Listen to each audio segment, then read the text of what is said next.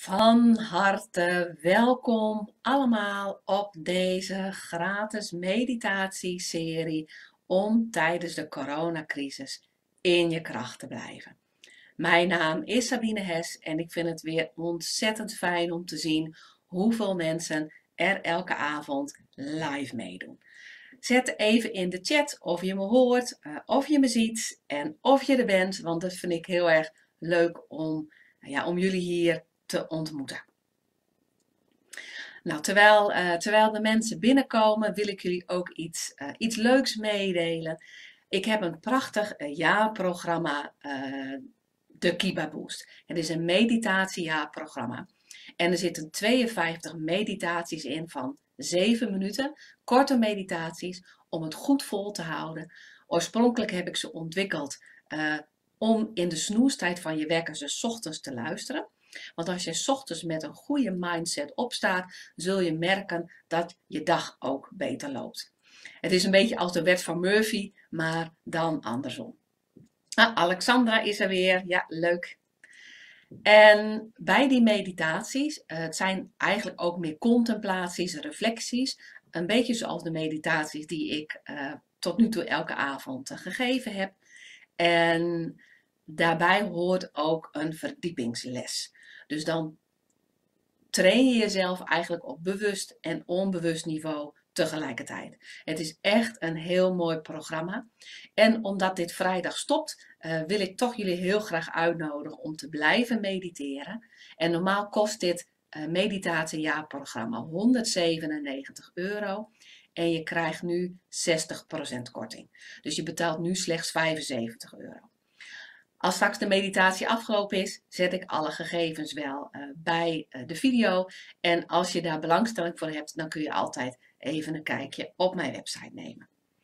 Nou, ik zie dat er ondertussen uh, heel veel mensen binnen zijn gekomen. Hartstikke leuk. Nou, zoals jullie weten trek ik straks een kaart uit mijn Kiba kaartenset. En dat wordt dan het thema van vanavond. Nou, zo is ook mijn uh, Kiba Boost meditatiejaarprogramma opgebouwd met 52 thema's die jou helpen om je blokkades op te lossen, je intuïtie te versterken, je volle potentieel te leven en dat te delen met de wereld. En dat is ook precies de reden waarom ik ook deze meditaties geef, om jou tijdens deze coronacrisis een hart onder de riem te steken en om positief te blijven.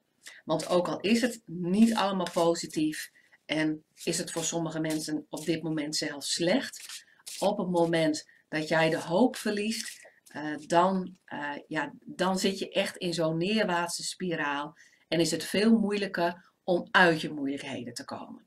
Dus als jij aligned blijft, uh, je rust bewaart, in harmonie blijft, dan kun je moeilijke omstandigheden veel beter aan en kom je daar ook veel beter uit. Nou, ik zal ondertussen, ik zal even de kaarten laten zien. Uh, ik zal ondertussen een, een kaart trekken voor het thema van vanavond. En het is in ieder geval een prachtige, prachtige foto. Het zijn een van mijn lievelingsbloemen. Even, ik zal even zo doen dat het een beetje met het licht goed werkt. Oh, dit is wel ook wel weer een heel mooi thema voor vanavond.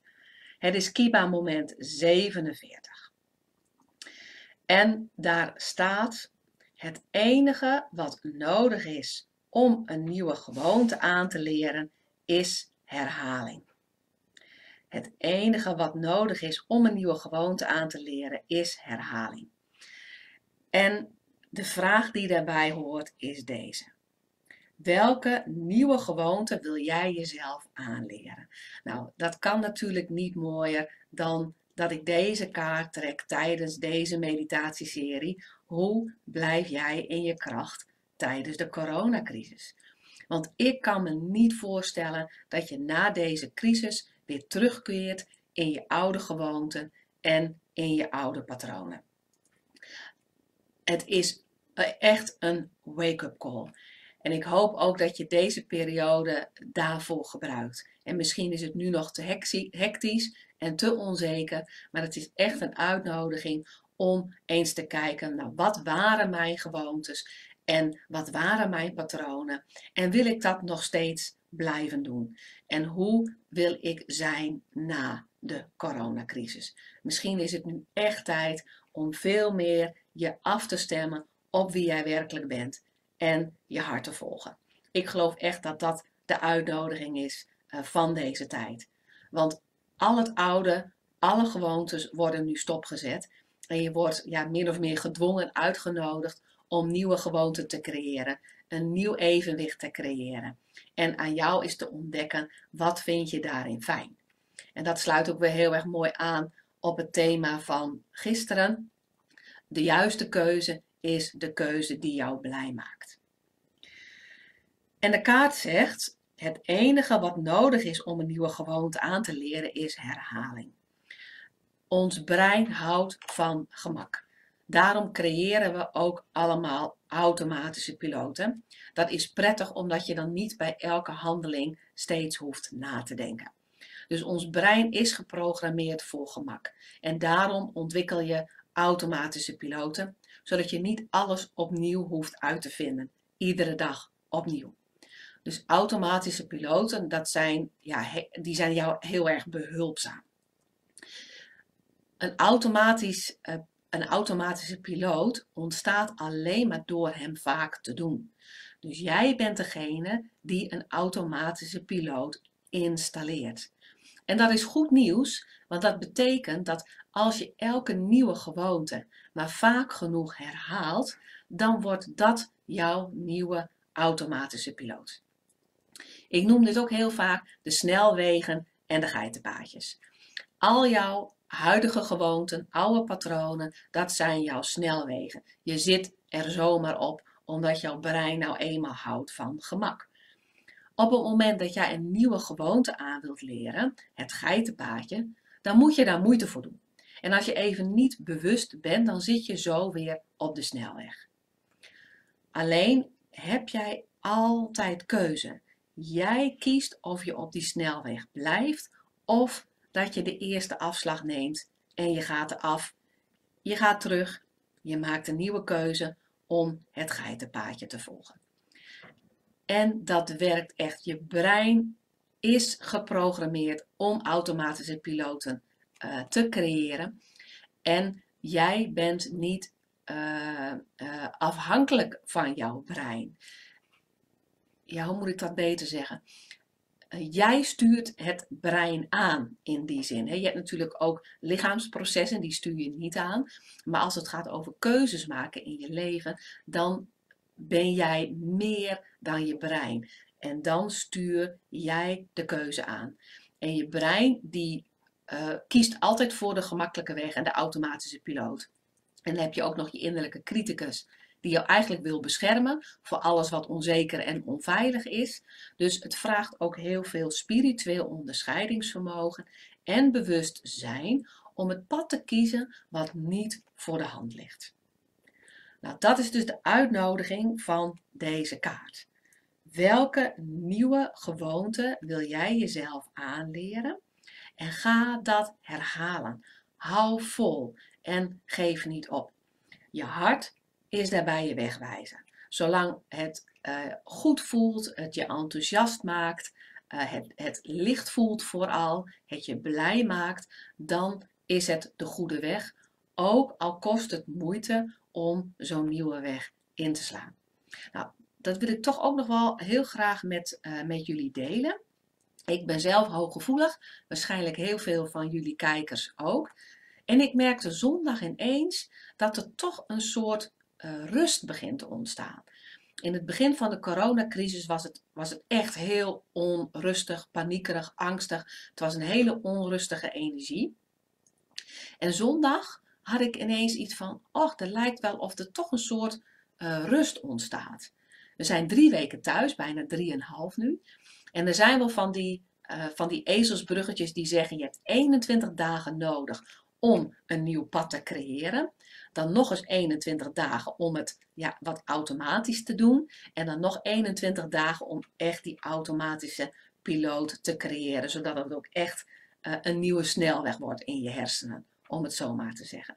Dus dat zijn, hè, ze hebben het ook vaak wel over 66 dagen om echt een nieuwe gewoonte te installeren. En de eerste 21 dagen zijn het moeilijkste, omdat je dan nog het meest geneigd bent om in je oude gewoonten en patronen terug te keren. Dus iedereen is nu thuis, uh, kinderen zijn thuis, uh, je werken is anders en dat is in het begin zoeken en uh, allemaal nieuwe, nieuwe gewoontes die zich aandienen en daar moet je aan wennen. En dat is onrustig.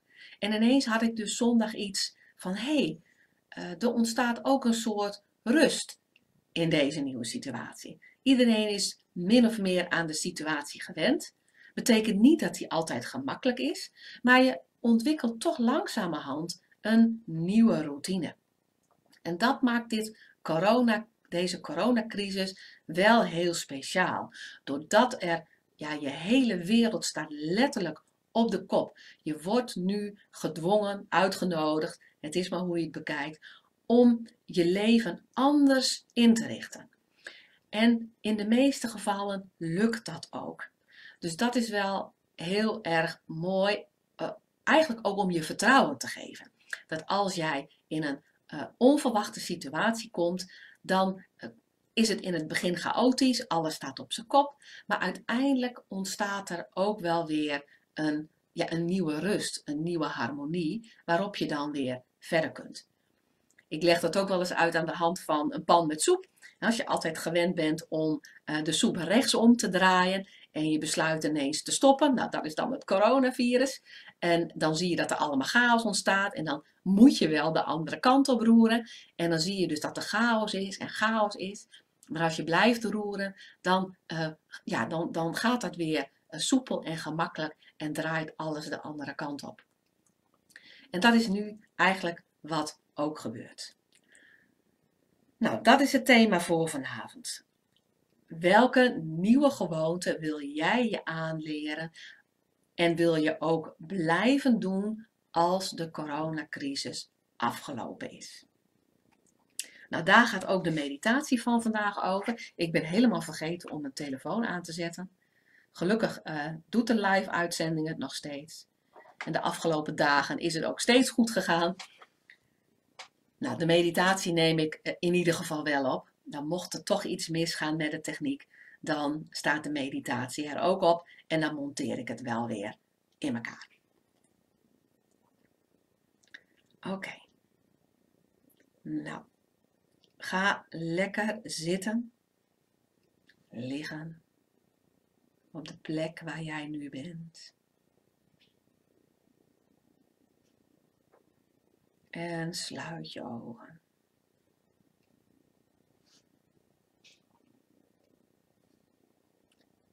En richt je aandacht eerst op je ademhaling.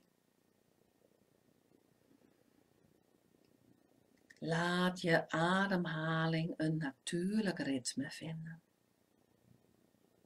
Een ritme van harmonie, rust ontspanning.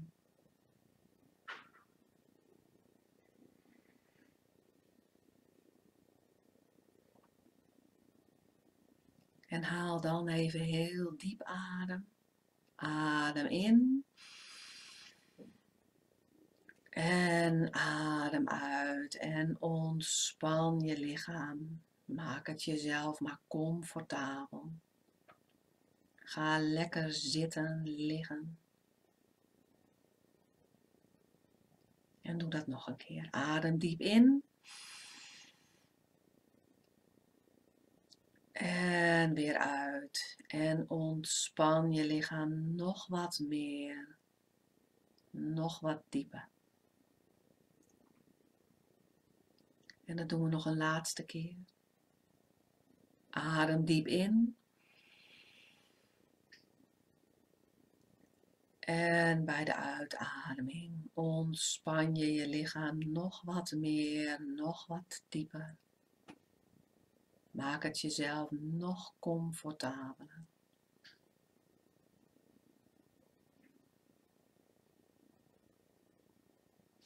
En laat je adem dan weer haar natuurlijke ritme vinden. En dan ga je met je aandacht naar je voeten. Voel hoe de ademhaling helemaal naar je voeten toe gaat. Vul je voeten met levensenergie, levenskracht. En bij de uitademing ontspan je je voeten.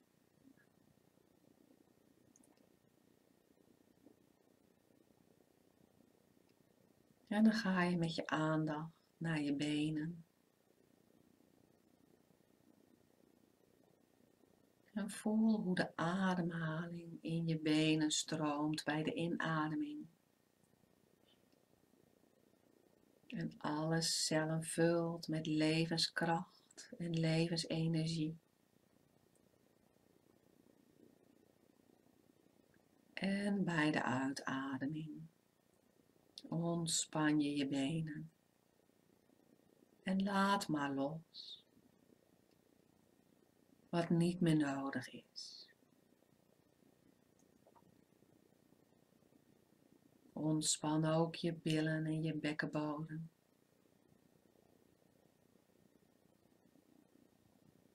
En voel dan de ademhaling in je buik. Hoe je buik ruimte maakt om de levenskracht te ontvangen. En bij de uitademing laat je los wat je niet meer nodig hebt.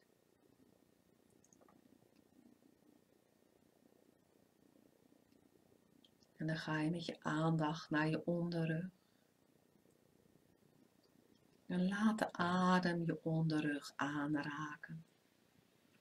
Zacht, liefdevol en ruimtegevend.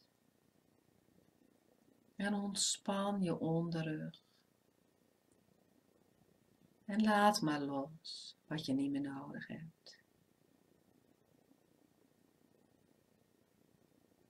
En dan ga je naar je maag en je middenrug. Je middenrif. En voel ook hier de beweging van de ademhaling.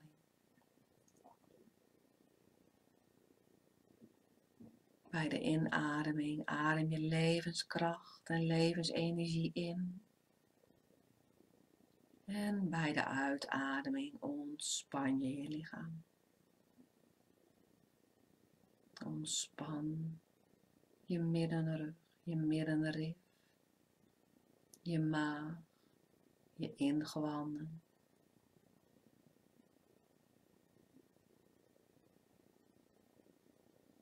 En voel dan je bovenrug en je borstkas.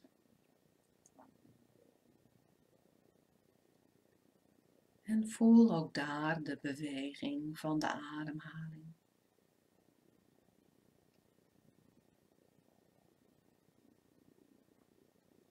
Ontspan ook je schouders, je armen, je handen. En voel ook hier hoe de ademhaling naar binnen stroomt. En bij de uitademing mag je je schouders, je armen en je handen nog wat dieper ontspannen. Nog wat zwaarder laten worden.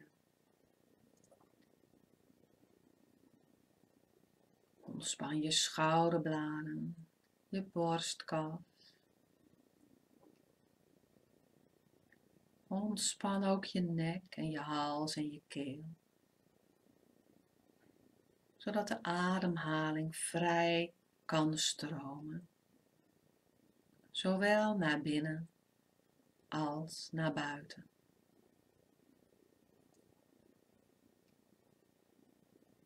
Ontspan je hoofdhuid, je gezicht. Ontspan de spiertjes van je ogen en laat je kaken los.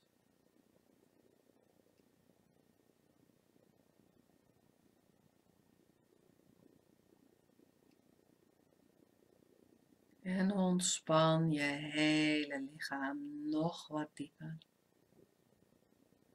Voel hoe je helemaal wegzakt in de stoel, de bank, de vloer.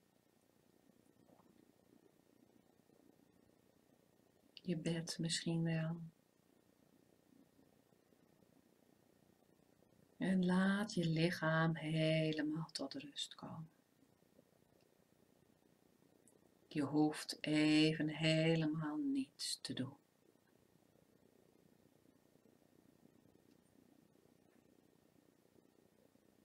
En dan ga je met je aandacht naar je hart, je hartgebied. En dat lichtpunt in het midden van je borstkas. Jouw goddelijke vonk, jouw ziel, die altijd verbonden is met je hogere zelf en de bron. Jouw hogere zelf is helemaal om jou heen. En de onvoorwaardelijke liefde, de steun, de troost en de koestering en de harmonie die jouw ik ben aanwezigheid is, stroomt in jou, door jou, om jou.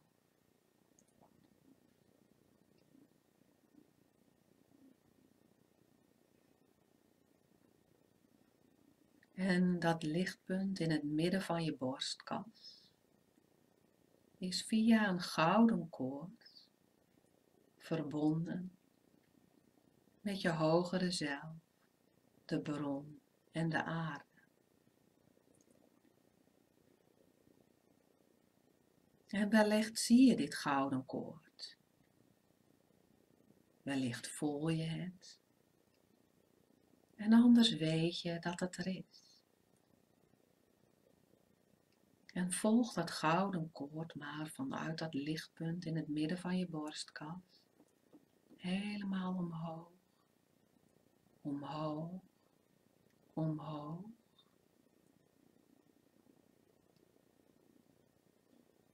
Helemaal door jouw hogere zelf. Nog verder omhoog, omhoog. Het universum in.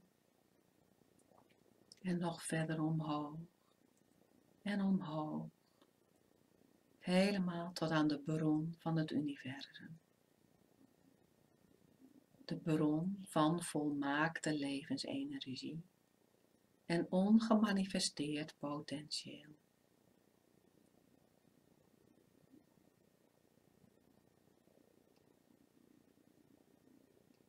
zo ben jij verbonden met de bron en je hogere zelf via het lichtkoord met het middelpunt in je borstkas. En het gouden koord gaat ook omlaag, door je lichaam heen, helemaal diep de aarde in, naar beneden, naar beneden, naar beneden helemaal tot aan het hart van Moeder Aarde.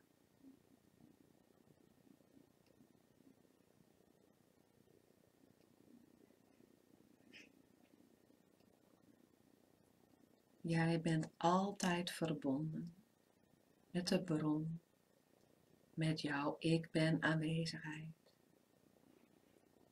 en de aarde.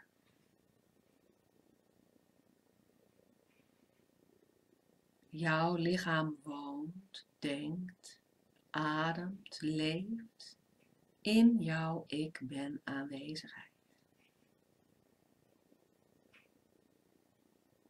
En dit maakt jou heel en compleet.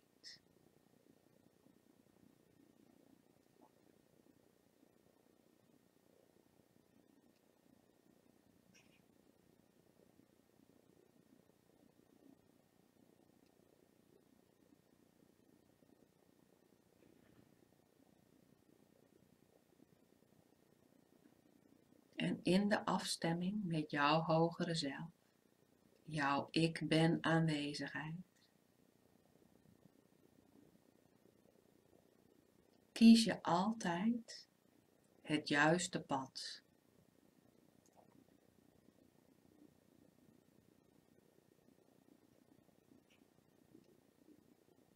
En je lichaam en je hart laten weten of jij op de goede weg zit. Door middel van emoties.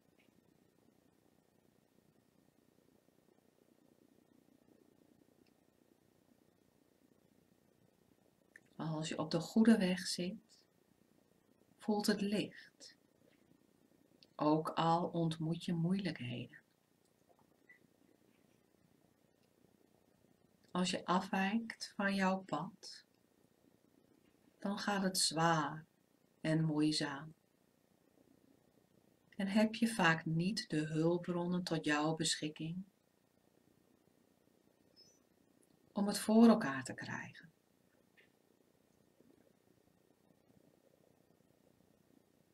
Als jij op jouw weg zit, jouw pad, dan zijn de hulpbronnen altijd aanwezig en komen naar je toe.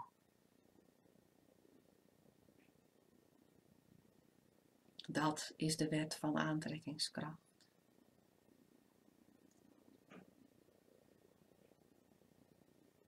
En terwijl je helemaal in contact bent met je hart in jouw ik ben aanwezigheid. Welke nieuwe gewoonte zou jij willen creëren die jou gelukkiger maakt?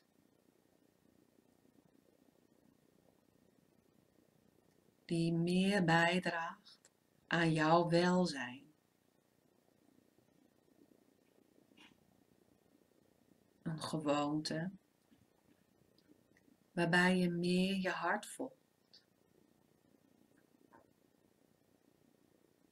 En voel maar welke nieuwe gewoonte zou daaraan bijdragen, aan jouw geluk, vreugde en welzijn.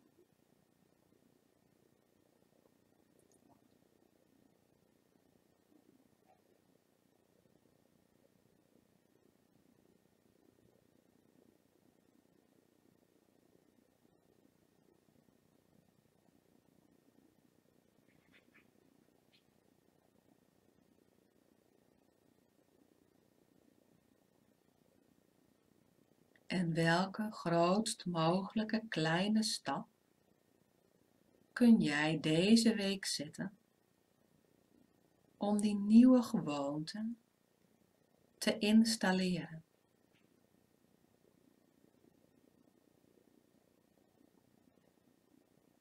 En het enige dat je hoeft te onthouden is dat herhaling de sleutel is. Door het vaak te doen, wordt deze keuze die je nu hebt gemaakt een nieuwe gewoonte. En hou vol. Blijf herhalen. En zo creëer jij het leven waarvoor jij bent bedoeld. En is het mogelijk om in harmonie, vreugde en overvloed te leven.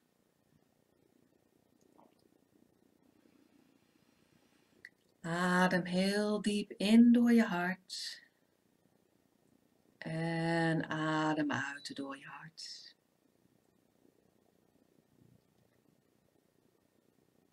En word je weer bewust van je lichaam.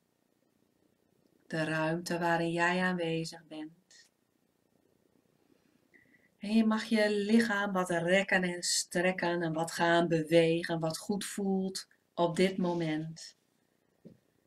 En kom dan weer terug in je dagelijks bewustzijn.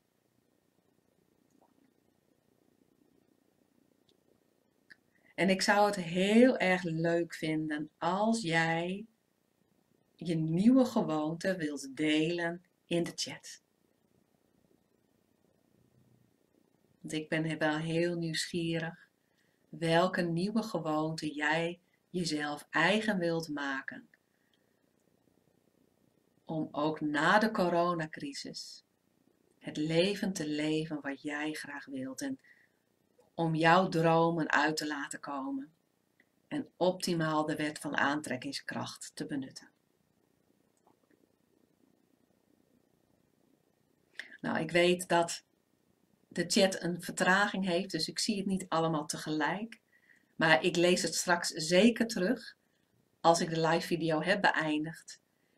En het is woensdag vandaag.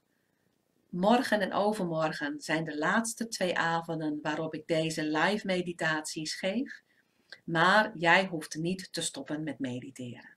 Op mijn website zijn alle meditaties tot 15 april sowieso te luisteren. En ik nodig je van harte uit om mee te doen aan mijn Kiba Boost meditatie jaarprogramma, waarin jij 52 prachtige meditaties krijgt van slechts 7 minuten, want zo hou jij mediteren goed vol. En elke meditatie heeft een verdiepingsles en er zijn allemaal thema's die jou helpen om in je kracht te blijven, je blokkades op te lossen, je af te stemmen op je hogere zelf en je trillingsfrequentie te verhogen. Het lijkt heel erg op de meditaties die ik deze twee weken geef. Er is steeds een thema en daar gaat de meditatie over. En je wordt ook uitgenodigd om daarin stappen te zetten en actie te ondernemen. En daarom is het ook heel fijn om elke meditatie ongeveer een week te doen, om zo ook echt ja, te kunnen veranderen en uh, stappen te zetten. En niet alleen te weten, maar ook te doen. Ik ga ondertussen ook even kijken in de chat of ik al wat binnen zie komen. Oh Joke, leuk. Mijn nieuwe gewoonte is dagelijks mediteren. Ja. ja, ik kan het jullie echt allemaal aanraden. Dat is ook de reden waarom ik die Kiba Boost meditatie jaarprogramma heb ontwikkeld. Zodat je nou in ieder geval bijna elke dag slechts 7 minuten even de tijd kunt nemen om te mediteren. Het brengt je echt zoveel en ik spreek echt uit ervaring. En Patricia, de nieuwe gewoonte kwam niet meteen en dan voelde ik het mediteren natuurlijk. Ja, klopt. Ja, het beste is denk ik wel dat ik in stilte leer. Ja, klopt. Ja, dit soort geleide meditaties te volgen. Nou, ik denk Patricia dat het een meditatiejaarprogramma voor jou dan een heel mooi hulpmiddel is.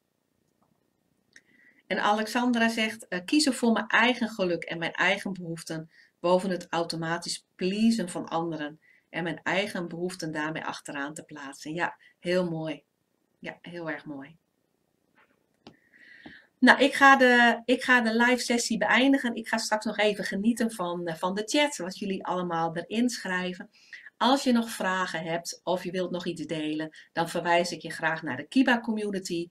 Het is een besloten groep op Facebook en deelname is gratis. Ik zie jullie graag morgen bij de ene laatste meditatie van deze gratis meditatieserie. Graag tot morgen en dankjewel.